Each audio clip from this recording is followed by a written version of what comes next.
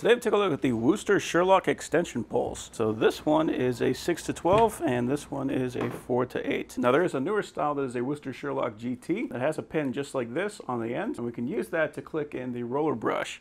So with this one you don't have that, but what we do have with this one is that spiral lock that is actually made out of metal. So on the GT it comes with that press in click, but we have a plastic adapter that is going to attach anything that actually has a spiral. Because this one has that metal spiral, it's going to be a little bit more secure, a little bit stronger for anything that you're going to be attaching a screw base to. But these are both extendable, so all we got to do is press this button and we can extend that out in six inch increments. And the 48, I mean, this is quite a good length. If you get midway up a second level, this is gonna be the one that you want. And plus, if you're gonna be doing anything where you're gonna be doing like uh, interior work or anything like that, the four foot length is just about perfect for that because you can hit low, you can hit high, and plus you'll have the balance on the other hand to make it so that you're not really putting in as much effort. With the 12 foot version, it's the exact same thing. Press the button,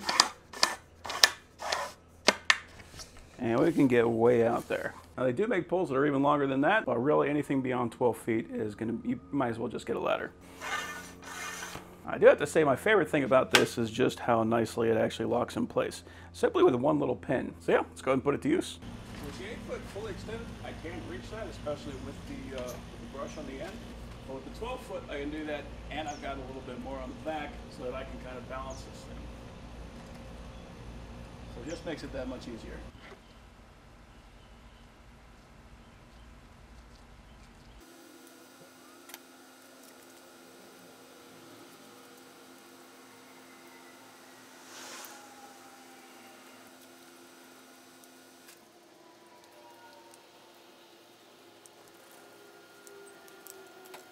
So there we go. Used about a gallon of paint. I think that turned out pretty good.